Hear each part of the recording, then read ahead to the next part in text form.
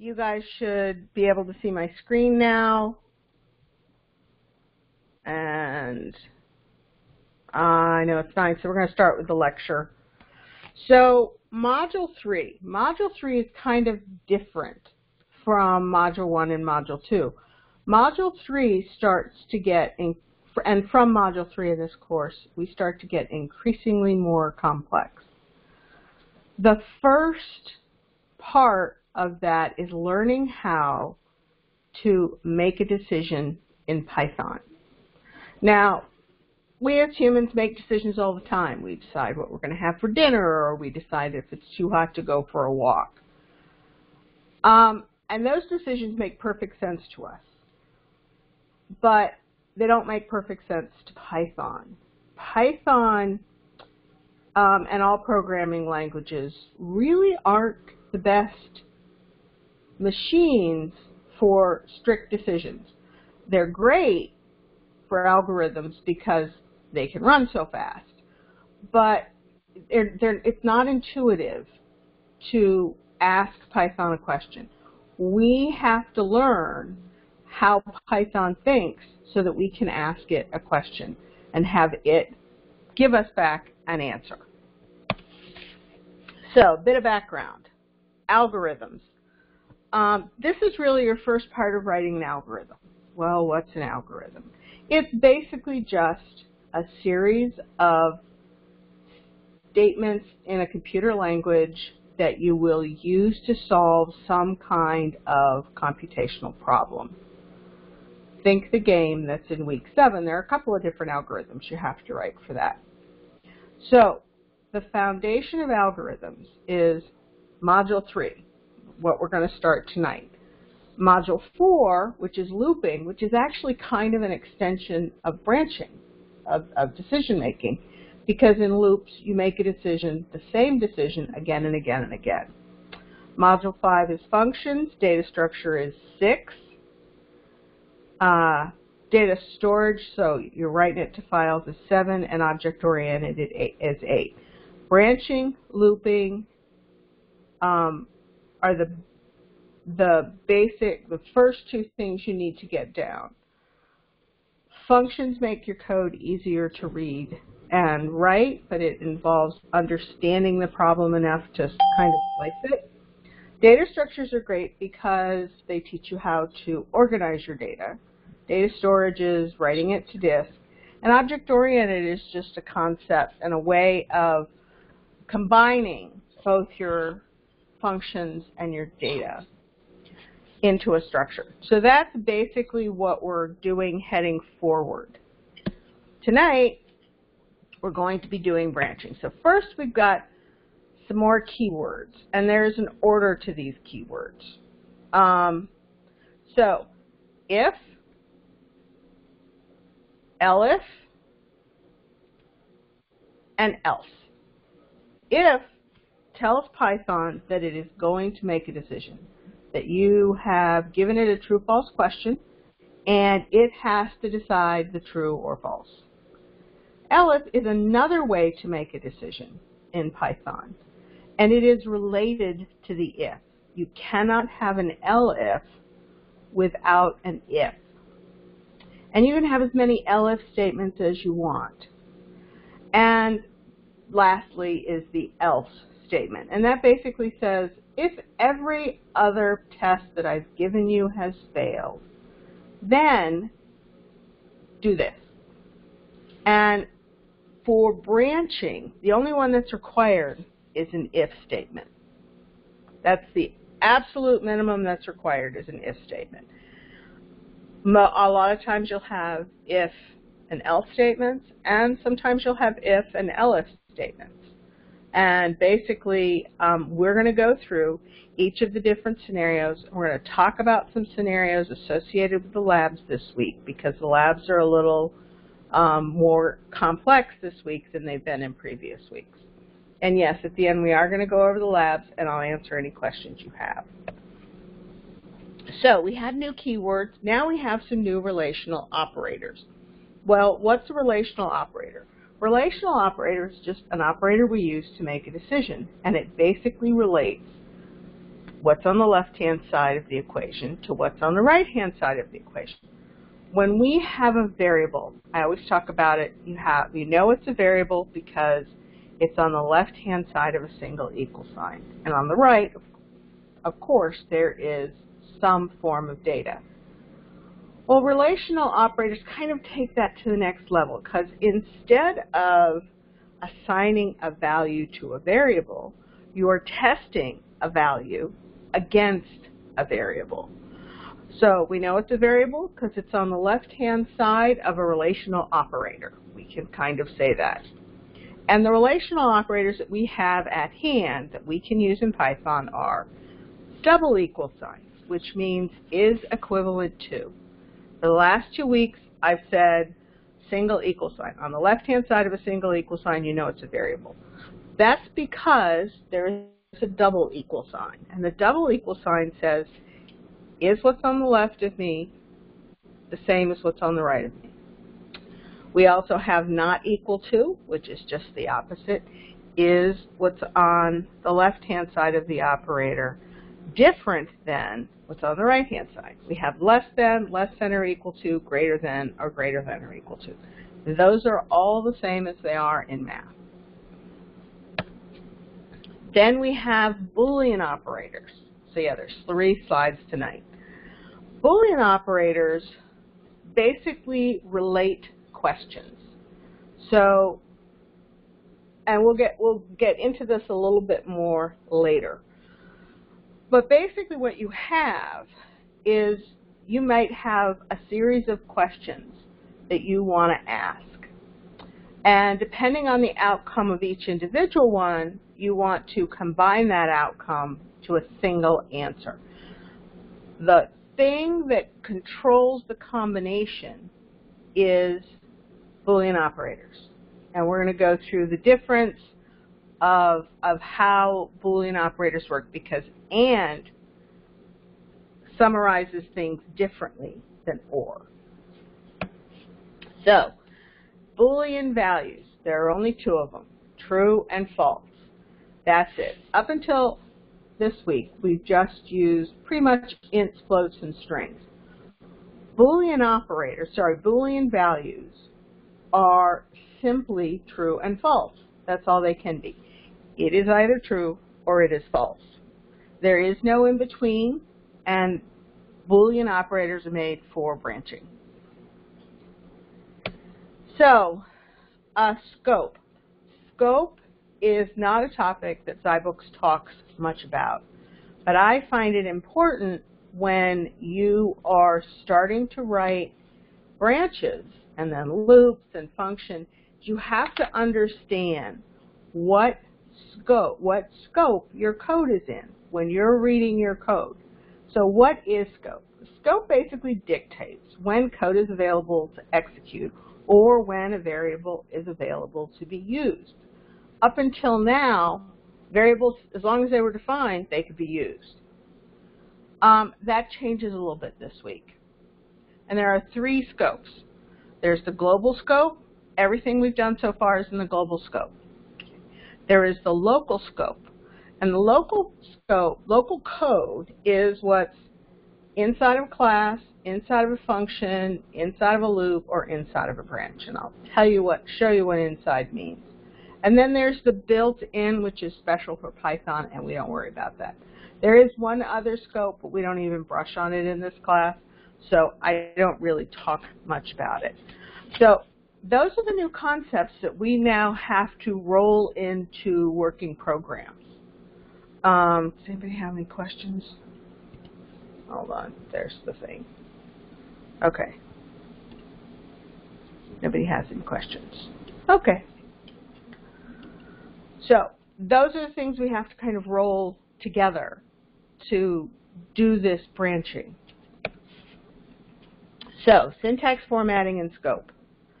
Now I'm just using um, 3.2.2 and so this basically says you're gonna you got something called user age. It's a variable, it's on the left hand side of a single equal sign.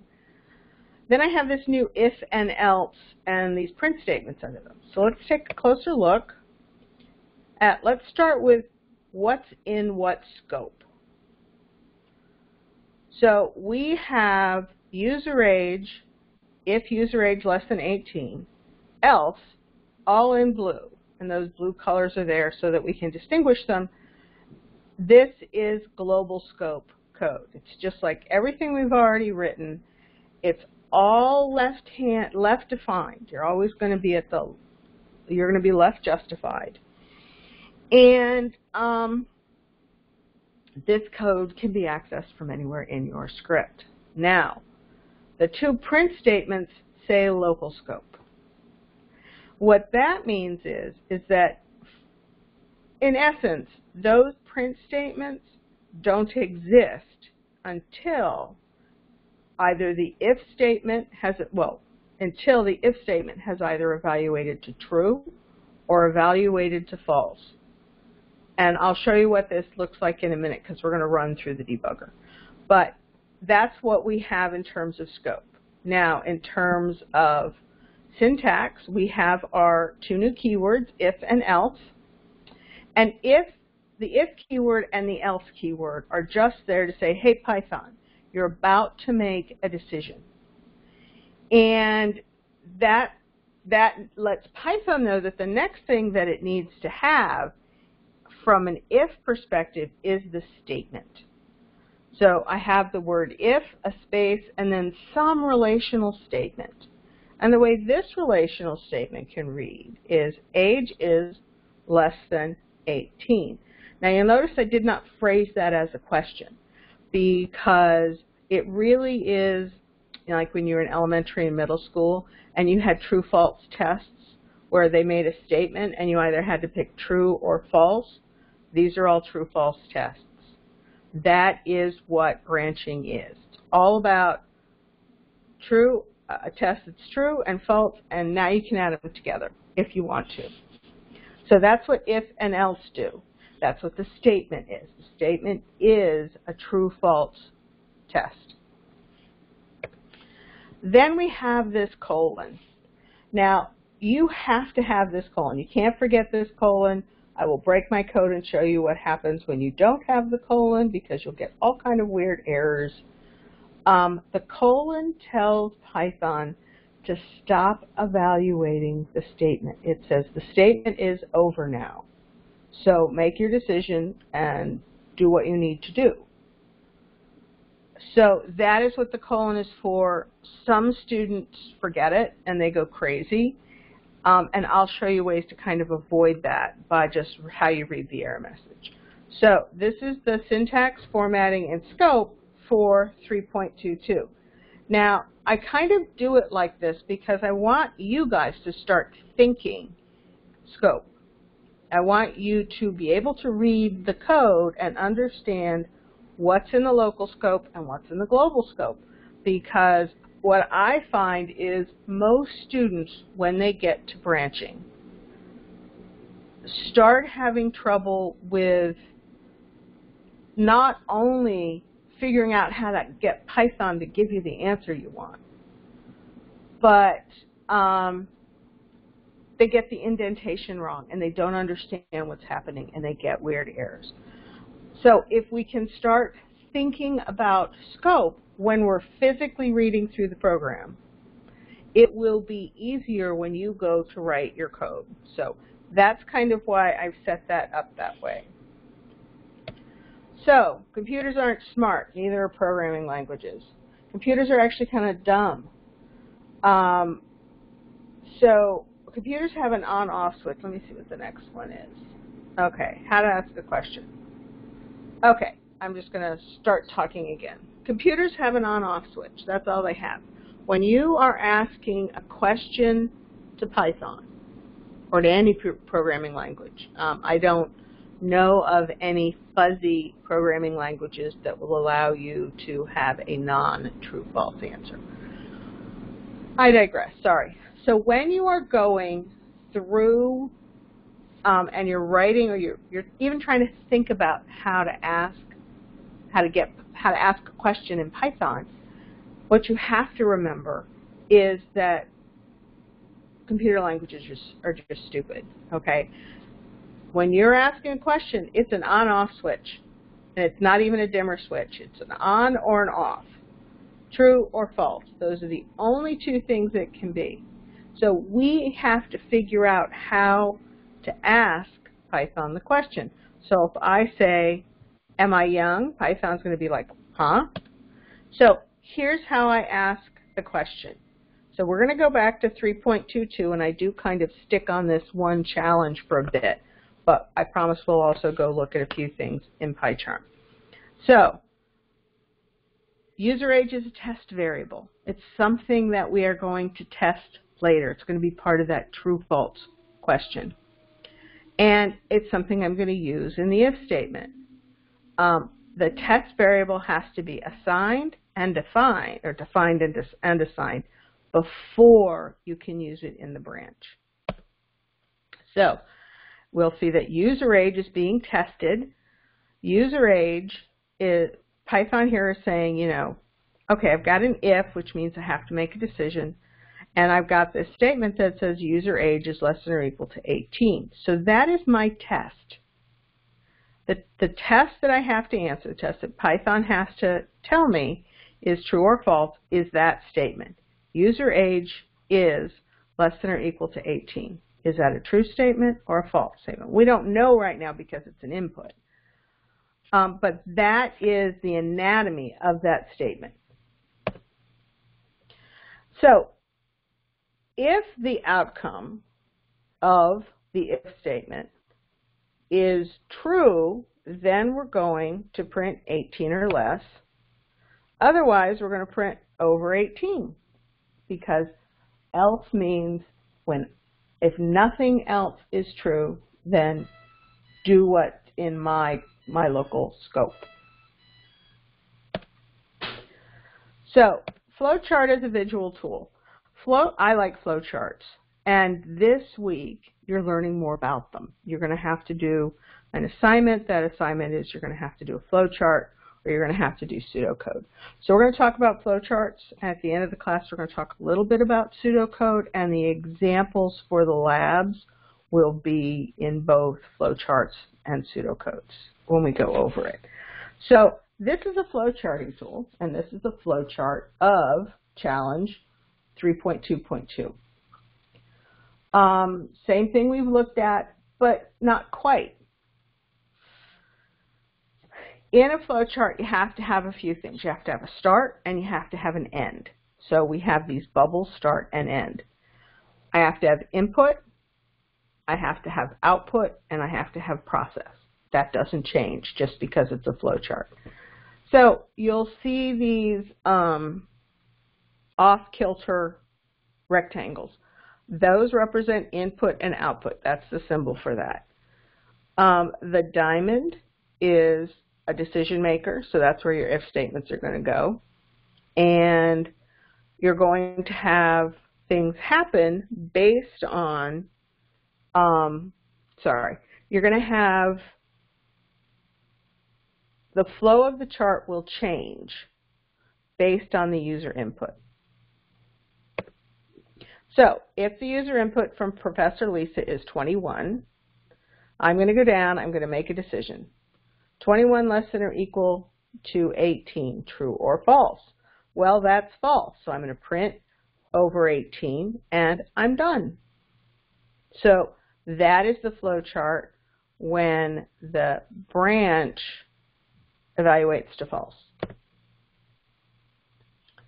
So now it's just all coming back together. All right, so I have 10 now, so user age is 10. So 10 is less than or equal to 18. It's going to evaluate to true. All the stuff on the false goes away, and you print 18 or less. So that, from a visual standpoint, is what is happening in the code. And I also use this visual stuff because you're going to have to do that this week. Okay, one more decision maker. So this decision maker is elif. So I'm going to again start with 3.2.2 and I'm going to say if user age is less than or equal to 18, print 18 or less. Well, what if I want there to be different age groups. So I'm going to say if user age is less than or equal to 50, true or false, and then I'm going to print in the middle, and then otherwise, if nothing evaluates to true, I'm going to say nope, you're old. So what does this do? This gives us another related decision maker. And we really have to start talking about the relation of the decisions because this is really a chain. If, else, and else are a chain of potential events. And they relate to each other. When um, user age is less than or equal to 18 evaluates to true, Python won't ever, ever try and try that user age again. It's just going to go right down here. It's going to say, okay, this if statement was true, so it's like nothing else existed. Just like that flowchart you saw before where the actual lines disappeared. That's the concept here. So here's a quick middle age flowchart, and then we're going to go look at some code for a few minutes. So here's a um, flowchart of middle-aged. We have our user input. We have our decision that we already had. If it's true, we're going to press, print less than or 18. If it's false, we're going to go and we're going to do another test. And that other test is going to say, are they less than or equal to 50? If they're less than or equal to 50, they're middle-aged. Otherwise, when that, if that evaluates to false, they're going to print, nope, you're old. So all they've really done here from the first one is just add another branch because these are branches. When you look at them, that if statement branches either to true or false, and the next if, next if statement branches either to true or false. So here we go again, our little graph. So if it's 10, it's going to print 18 or less. And as far as Python is concerned, all that stuff goes away.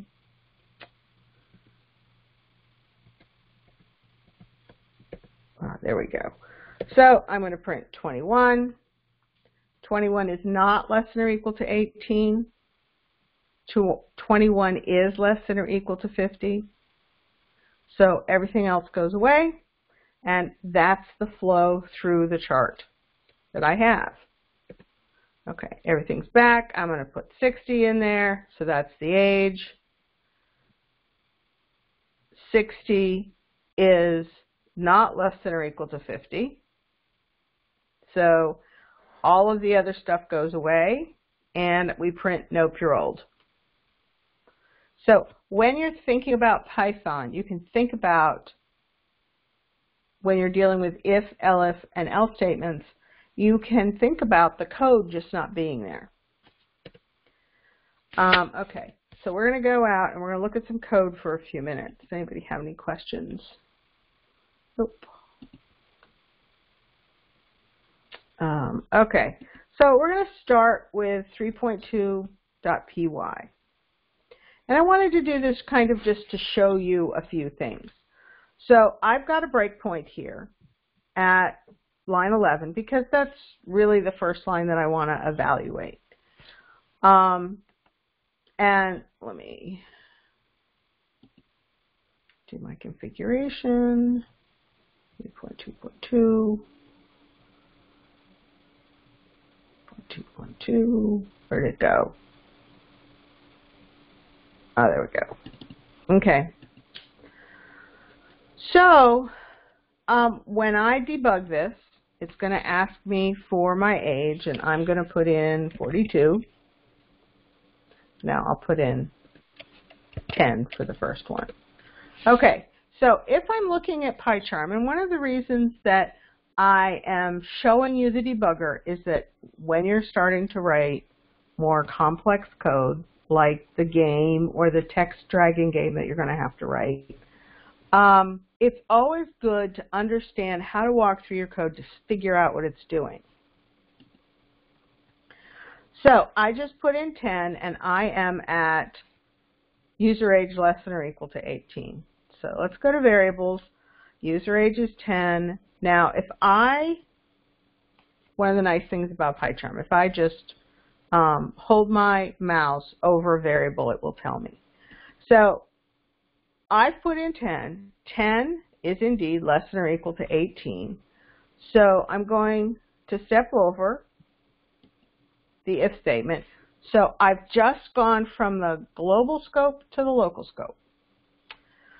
And the reason I know it's a local scope is because it is indented. And I can't stress that enough. The only way Python knows it's in the local scope is because it has been indented. And there are only certain times when you indent your code. And what we're learning here, one of those times is in branching. So Python says it's in the local scope. It's going to execute what's in the local scope.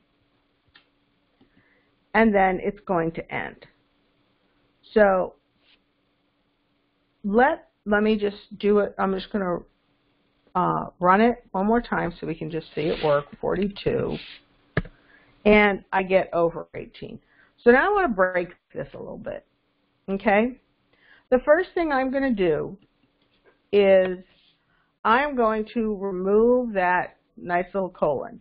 And what you will see here is you'll just see this red squiggle. Okay, so I got a red squiggle. So I'm just going to run this, and I get a syntax error, invalid syntax, and it just points to the end of 18. This is one of the times where Sherelle Scott. Thank you. Would you please mute? Um, the lack of the colon is one of the few times that Python might actually give you valid syntactical error data. So what happens if I don't indent line 12? Well, let's do that. Now I get my red lines. I get a red line at print. I get a red line at else, another red line at print. So let's run it and I will show you the error that you get. This is what you get, okay? Indentation error. Expected an indent block. So Python said, okay, I have an if statement. The next line has to be indented. If it's not, I'm going to throw up my hands and quit, which is what this program just did. So indenting just means hitting the tab key. So if you see an indentation error, there are a couple of different things that it could be. Hold on. Oops, let's see. Nope, that's okay. Okay, sorry about that. Um, but that's what happens. Those are indentation errors.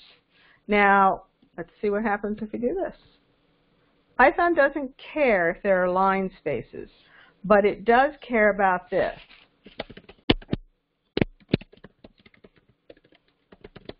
This is one that I've seen students do. And what happens is they end their if statement, and then they type a line of code, and then they type else. That's invalid in Python because you've kind of broken the chain. Remember when I said if, else, and else are kind of a chain of events, or a chain of possible events? Well, this print line breaks the chain of possible events. Python is saying, okay, I got this if block here. We're all good. Now I got this print statement. It's just fine. It's out in the global scope. And then it comes to this. Um, I'll get to that in just a minute. Then we get to this, and all of a sudden it was working. All I did was put that print line because what Python is saying is it cannot relate this else to the if that started this whole thing. Remember what I said earlier is that Python um, is expecting always to have an if. You have to have an if. You can't have an else without an if, which means Python has to relate those two keywords. So, and it cannot relate it when I put line 14 in, but it can relate it when I didn't. So this is a chain of possible events, and they have they are related. Let me go back and see what the message was. Okay, zyBooks was talking about the difference between a tab and spaces. Do you have a preference? I don't have a preference. However, my experience is it's just easier to tab. It's just easier for me instead of making it spaces. I just know I tab once and I'm in this particular scope and I tab twice and I'm in this particular scope. So that it's easier for me that way. Um, if you're in my class and you're turning stuff in, I will not care if it is a tab or a space. I will care if you get an indentation error from Python.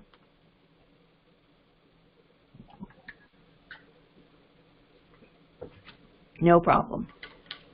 Sorry, I need to take a quick sip of water. Okay, my voice is getting gravelly.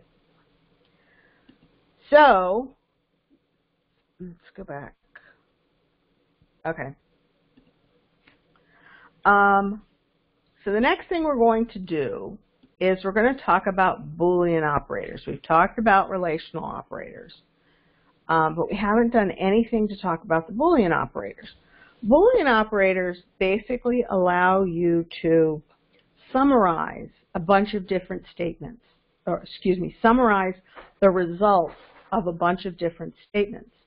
So if I say num, it, num1 is 10, num2 is 2, and I say if num1 is equal equal is the same as 10, so is that true or false? Well, that's true and then ignore the and for a second, and then uh, and then the next statement is num2 is the same as 2.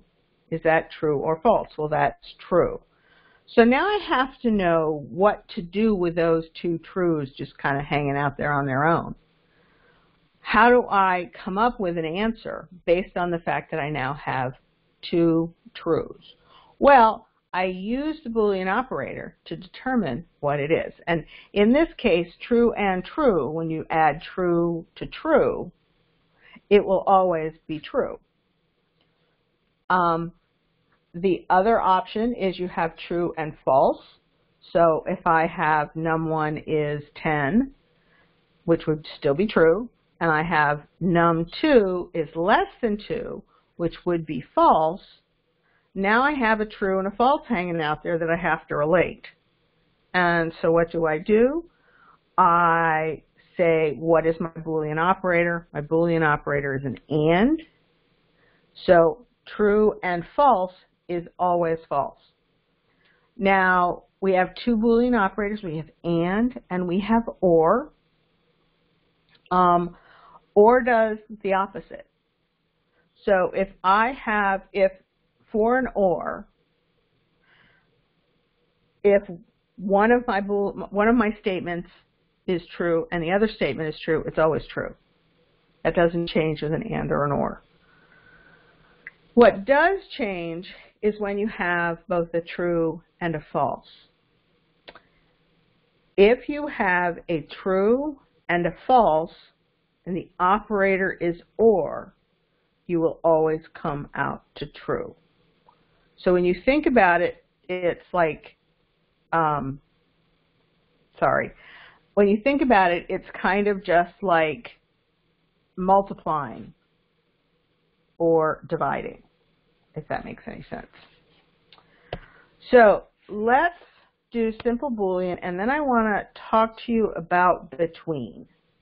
That sounds kind of weird, but I we we need I need for you guys to understand the concept of between. So this is my take on 3.2.2 with adding an elif. We saw it in the flow chart, and so now we're going to see it here. Okay, so I have my user age. I've got what's on the left-hand side, which is my variable, user age, all the time. Um, and I've got some print statements in the local scope. So if I debug this, okie dokie, there we go.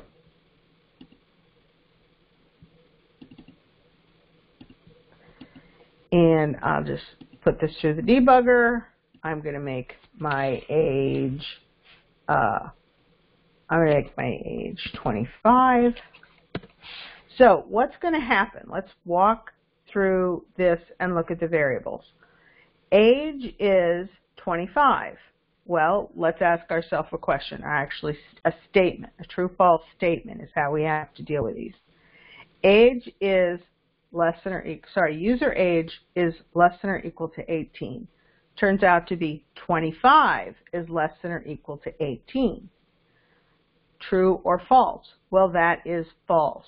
So what it's going to do is it's now going to fall to the second question in the chain. In this case, we have user age, or 25, is less than or equal to 50, or user age, yeah, is less than or equal to 50, true or false. That happens to be true. Because that's true, I move from the global scope on line 12 to the local scope on line 13. And I print out middle age. And then I'm done. Nothing else happens. I don't ever make it to here because I, I have once once one part of this chain evaluates to true, everything stops. And um, this is called mutual exclusivity. So an if statement is mutually exclusive then an elif or an else statement that follows it. What mutually mutual exclusion means is that once Python hits a true in this chain of if, elif, and else, it's just going to ignore everything else. It's like nothing else existed. So you have to understand that concept when you're writing algorithms. You have to understand when the data is related, you want to use an if, elif, and else statement. The data is unrelated, you can use multiple if statements. By the way, you can have as many if statements in a, in a program as you want. There's not really a limit. So, between. Between is one of the things that um, that really is difficult sometimes. We understand what between is from the perspective of a human, from the perspective of our world. But in Python, it's different.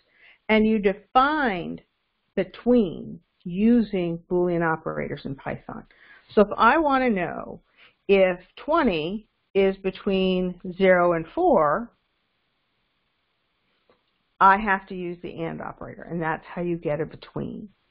So you have age is 20, and this is a true-false test again. Age is greater than 0, and age is less than 4. Well, that's false. It, it is greater than 0, but it's not less than 4. So we have a true and a false, which means it's false because there's an and in there. So then I go to the next elif statement, and I said, okay, is 20 greater than or equal to 4? Well, yes, it is. Is 20 less than 9? Well, no, it's not. So that's a true and a false. So it um, evaluates to false. And then we go to the next line, and we say, age is greater than or equal to 9, true, and age is less than 13, false.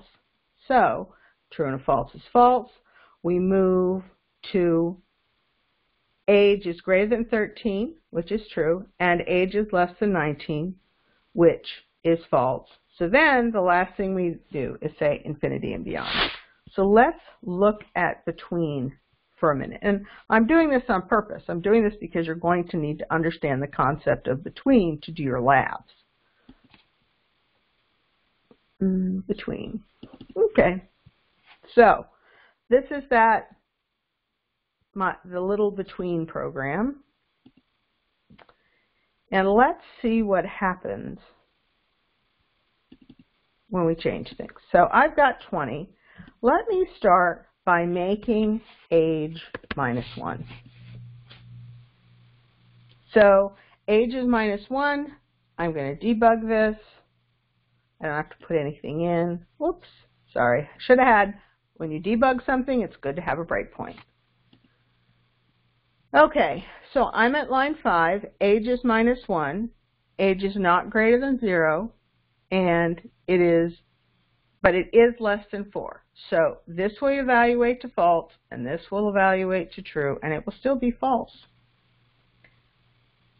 So here it's going to be false because age is not greater than or equal to 4, even though it is less than or equal to 9. Same here, same here, and so it's going to print to infinity and beyond. Now, let's change it up a bit and let's make it 3. I'm going to debug this. Age is 3. I'm going to step over. And I now am saying 3 is greater than 0, which is true. And 3 is less than 4, which is true. True plus true is true. And I go in here, and I am going to print no school, and then the program is going to end. This is what I meant by mutual exclusivity. Line 5, Python knows that line 5, line 7, line 9, line 9, 11, uh, sorry, line 11 and line 13 are all related to each other. And once one of those relations is true, the rest of them disappear. They just go away. So that's what happened here. So now if I put 5, we're only going to do this one more time. I am 5. 5 is, five, 5 is greater than 0, which is true. And 5 is less than 4, which is false. So I am not going to execute line 6. I'm going to jump right to line 7. And you'll see on the console, line 6 never got printed out. Now, age is 5. It says age is greater than or equal to 4, which is true. And age is less than 9, which is true. And by the way, here's a neat little hand, handy feature in PyCharm. If you want to know if something is true or false before the line is executed, when you're on that execution line, but you actually haven't done it, you can simply hover over that particular part of the if or else statement and Python, uh, sorry, PyCharm will tell you. So I know that this is true. 5 is less than 9. I also know, uh, it's being a little, there it goes. I also know that age greater than or equal to 4 is true, and Python will tell me how that evaluates so that I, in my head, can say true and true is true. So I'm now going to print line 8, and the program ends because these are mutually, mutually exclusive.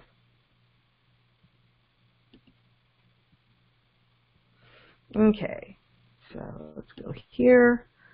Complex questions. So, um, one of your labs is extremely complex tonight. It's the one with all the coins, and it trips a lot of people up. So, this is a way of kind of talking about the concepts associated with that lab, but not actually talking about the answer to the lab. So what are we trying to do? Well, we're writing an algorithm. That's what we are doing here. That's what we did in between. That's what we're doing here. That's what you're going to be doing in your labs from here on out, which is why this, this foundation is so important. So here I've just got, given the number 223, find the number of 100s and the number of 10s, output plural if more than one output singular or none if zero. So that's the complex question. It's written as a sentence. You're not given a lot other than a value and what they want. That's it. So here in the code, I have an assignment num equals 223, hundreds equals 223 slash slash 100 or backslash backslash. I sorry, I can never remember. Um, that double slash is the floor operator. We originally talked about the floor operator in week one. Um, it is different than modulo, and it is different than um, division. You cannot solve the problem correctly for this, for that lab and for this complex question if you do not use the floor operator. And basically what the floor operator does is it says, only give me a whole number back. Because if you said 223 divided by 100, you'd get 22.3. But we don't want 22.3. We want to know the number of 100s. How many times can I multiply 100 and not exceed 223? So that's what the floor operator does. And then I'm going to have num minus hundreds times 100 so I can get the remainder for the tens. And then I'm going to do a modulo again for the 10. And so now that was just the calculations. Now I get to the part where I'm really talking about the algorithm. So the algorithm basically says if if I if hundreds is zero, then I'm gonna print no hundreds. If hundreds is greater than one, I'm going to print number of hundreds is, and otherwise, I'm going to say there aren't any hundreds.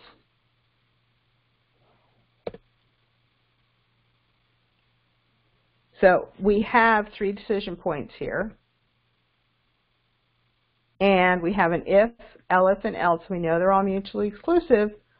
So one of these, and only one of them, is ever going to be printed out to the screen. And now I do the same thing for tens, except I forgot to change hundreds to tens. Sorry about that. But to get this problem right, we have a non-trivial number of lines of code. Because we have, because of what we want to do.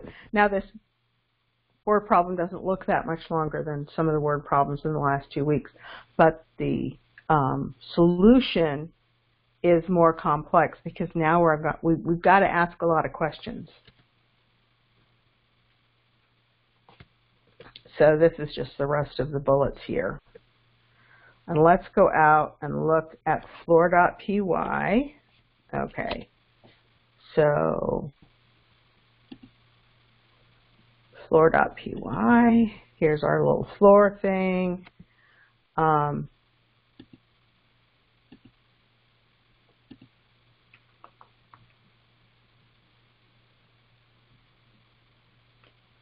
here we are. Okay. So I define money and I have, you know, 100 is 100 and a quarter is 25.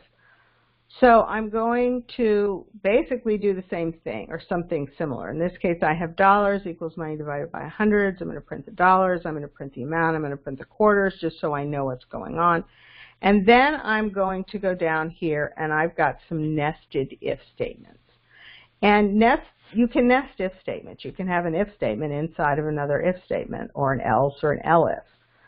Um, and that's an important concept is a is nesting because you can in this in this week we're going to nest nest if statements within other if statements. Next week we're going to nest if statements in loops and loops and loops so we start to get more complex.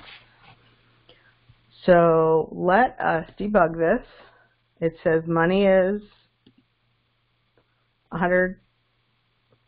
We have our 100 variable, which just stores the value 100, our quarter value, which stores the value 25. I'm going to say dollars, sorry, money, floor, 100 is the number of dollars that I have. So I have $1 and 150, which makes perfect sense. I'm just going to print that out. Now I want to figure out what my money left, my amount left is. So I'm going to say amount equals money minus dollar times 100. So the amount that I have left is 50. So now how many quarters do I have out of that 50? So I'm going to use my floor operator again. And so I have one one hundred and two quarters. So now I have to figure out how to print them out because right now the only thing I've got is that and it makes no sense if you're just looking at the console. So now I'm going to go and I'm going to create an algorithm. And a couple things to look at here. Okay, you will see that line 15 is an if statement and line 22 is an if statement. There are no, in the global scope, these are two in the global scope, there are no other if statements and there are no elif statements or else statements in the global scope, and that's because I don't need them. But what I do need is two, two um, branches, each branch dealing with a separate data. So amount, sorry, dollars is separate from quarters. When it comes to printing out, I want to print out my dollars with some things, and I want to print out my quarters saying some things. So that is why you see two independent if statements. An if statement, these are not chained. These have no relation to each other because the variables have no relation to each other. I don't care if I don't print out a dollar when it comes to quarters. Quarters doesn't care. Dollars doesn't care if I'm going to print out quarters. I want to, I, I am dealing with two different independent data points here, dollars and quarters. So that's why there's no if, elif, else relationship in the global scope. Now, we get to the local scope. Let's just talk about lines 16 through 20. 16 through 20 is in the local scope of the uh, dollars greater than zero branch. So anything that happens in there is fine. I can get to dollars because dollars has been defined outside this scope. And I can then also have an if and an else statement. So I have if dollars is 1 or is equivalent to 1, I'm going to print something. And if L, otherwise I'm going to print dollars. So now if we look at just line 18 for a second. Um, line 18 is not only in the local scope of the outer if statement, it is also further in another local scope of this inner if statement. So when I was talking to you about reading things from the prospect of, or from the vantage point of scope, this is what I'm talking about. It's important, especially when you're starting to get into eight rooms and you know having an inventory of of things they can win and knowing whether or not they're gonna you know have this horrible fate happen to them at the you know if they hit the wrong room before they get all of their stuff that is all understanding how to relate when things when data points are related and when they're not related and how to handle them so that's kind of what we're looking at here, and that is going to be important in your lab. So um, I am at line 15. I, I have $1, so 1 is greater than 0. I'm going to print the number of dollars and I but I don't want to I don't want to end it with a new line. I want to end it with a space. And now I'm, I want to say dollar behind that or dollars. So if dollars is 1, I'm going to print out the word dollar. Otherwise, I'm going to print out the word dollars. So in this case, I'm going to print dollars, so I have $1. And now, regardless of what happened to this, this equ equated to true, and it doesn't matter, because I'm down here and I am dealing with a completely separate data point. So quarters is greater than 0.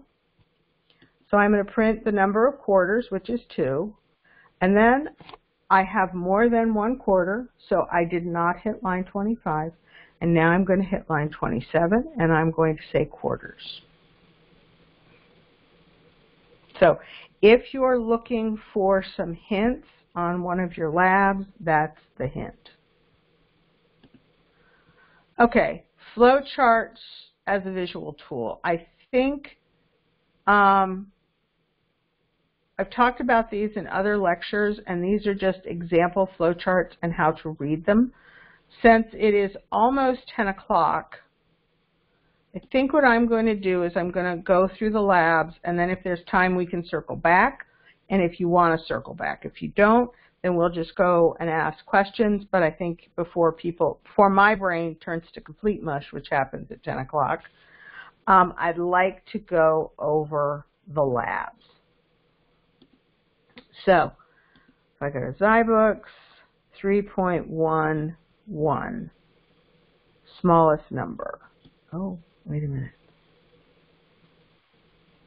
Okay.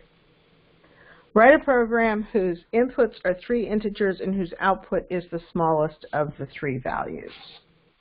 Do I have that? Hold on. 3.11, that's it. Okay, so I've got two different things here. I have got a flowchart and then I've also got pseudocode. And I'm starting to talk about pseudocode this week because it's one of the things you're learning. And with the complexity of the remaining labs, I will most likely only be talking about pseudocode. So let's see, lab 311, we basically are looking for the smallest of three numbers. So I'm going to input one number, I'm going to input a second number, I'm going to input a third number. So this is about Boolean operators, and it is about an if, elif, else chain, or an if, elif chain. And that's what if and elif looks like. It's an if statement and then another if statement, and they're related based on the outcome of the first one. So I've got one if statement that says if num1 is less than num2, whoops, my bad. Okay, so if num1 is less than num2 and num1 is less than num3, then I know that num1 is the smallest. If it's not, then I'm going to go down, and this would be an elif, and I'm going to say, you know, num2 is less than num1, less than or equal to num1. Num2 is less than or equal to num3. If that's true, then I know that num2 is the smallest. I print it out and I'm done. And if that's not true, then this is where I would have an else, and I would output num3, and I'd be done. So, and there's just a few hints of where things might be. Um, converting types and equality and relational operators and Boolean operators. Now here we have pseudocode. Pseudocode is a little bit different than flowcharts. And that's because it is supposed to, um, it's supposed to resemble the logic of what it is you would do. This should not be valid Python code. It shouldn't be valid Java. It shouldn't be valid C and C++. It should simply be pseudocode. And what you're using the pseudocode for is you're removing the need for all that syntax stuff. And you're writing down the logical steps as they would happen. So you kind of have to think like you're a computer at this point. Um, and so you're going to input three numbers, just like was in the flowchart. You're then going to test. And so here, when we're doing the pseudocode, I can write if, else, if, else. And so here you can see the multi-branch if-else statements. And by the way, those are in zyBooks, section 3.2.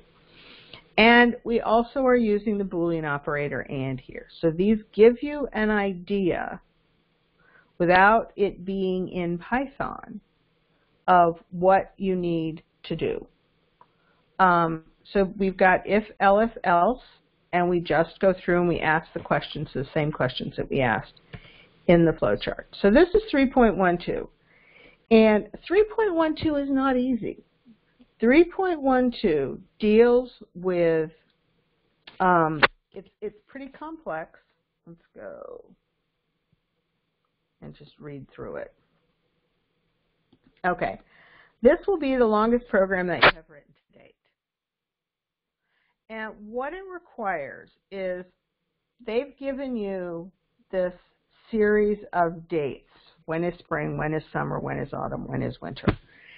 And these are going to take not just the simple if else statements, but you're going to have to nest stuff because it's not just if it's in March, it's in the spring. They've they've sliced some of the months by date. So somebody's going to input a month and somebody's going to input a day. And then based on that month and day, you're going to have to figure out using this chart what is happening. So we ha- we know that there are 12 months, so you can't put in, you know, um, purple and have it be a valid month. So you have to check. You have to do an if statement that validates whether or not um, that, you know, that whether or not purple is a month. And then you're going to have to validate if the days are correct. Somebody puts in 99, it's not going to be a valid input. Um, and then you have to go and you have to see, based on the month and the day, what season is it in. So this is a series of complex branching. This is multi-branch and nested. And here we have just um, a flowchart, and there, this is one of the reasons why I don't do flowcharts after Module 3 because they become so complex. This is just a small visual. We input somebody put inputs a month and a day, and then we have this if month is January and day is greater than 1 and day is less than 31. So we have a couple of ands, so this is a compound statement. If it's true, we're going to output winner, and we're going to be done. Otherwise, we have to go through this entire flowchart and more. Okay, this is the pseudocode for 3.12. This shows you the structure of this very large, um, yeah, this just just huge. Um, sorry, drawn a blank. This just huge related set of related statements. So the first thing we're doing is we're going to check if month is January.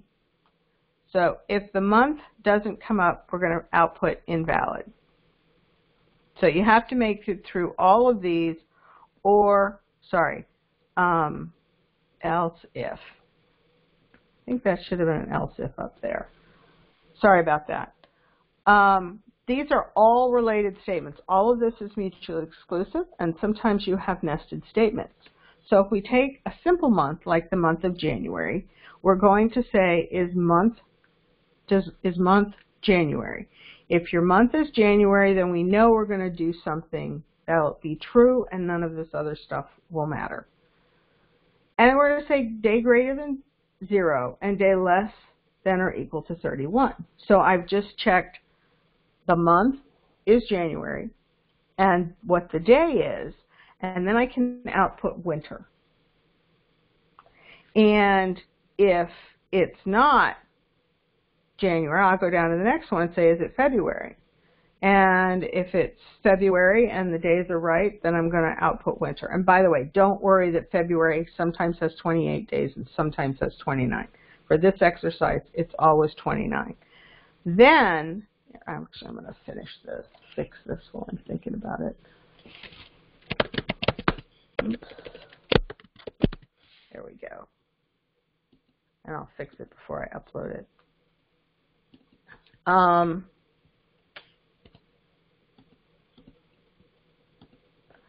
so this is this is what you're just going to do. Each one of the months has to be checked. Sometimes it's simple like out like outputting spring. Oftentimes it's not. In March, they're splitting the month, they're splitting the seasons based on a day in March. So first I have to say is month going to be March. If month is going to be March, then I go in and I take a look at the days and I say, if day is greater than 0 and less than or equal to 19, then I'm still in winter. If it's not, then I'm in spring. And if I put in something other than 0 to 30, to 30 um, I'm going to say the output is invalid. So this is a nested if statement, and that's how it matches up to this table, okay? This table says spring is between March 20 and June 20. Summer is between June 21 and September 21, and autumn and then winter.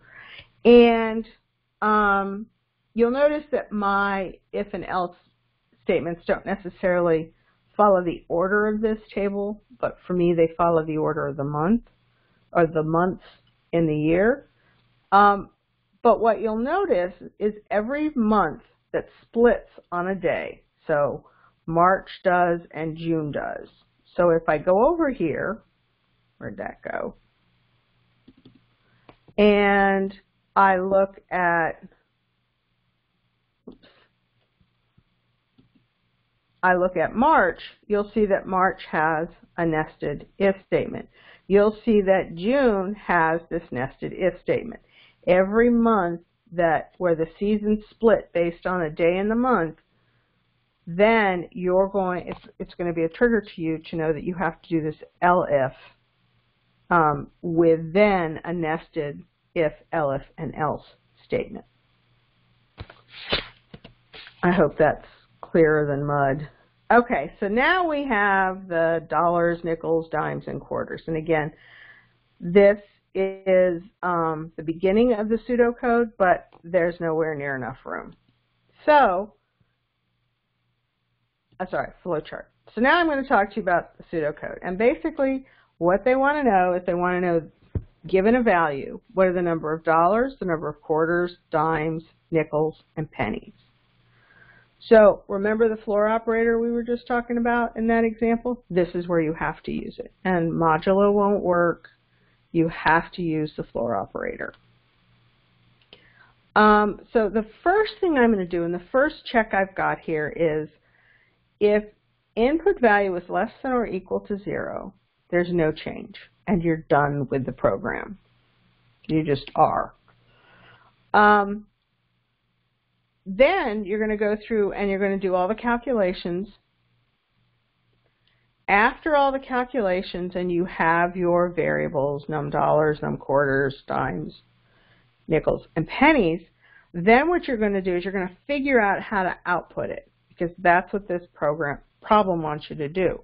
It wants you to go through and say, okay, I have some number of dollars that's greater than zero. That's perfect. I'm going to output the number of dollars, and then I need to either output the word dollar or the word dollars based on the number of dollars. If it's one, it's dollar. If it's multiple, it's dollars.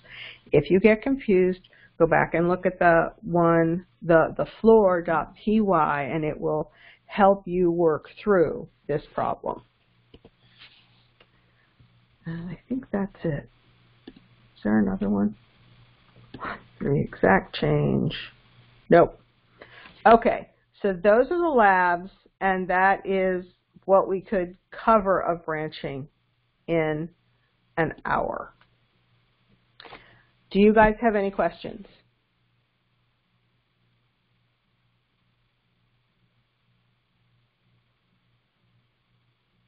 Does anybody have anything they want to discuss?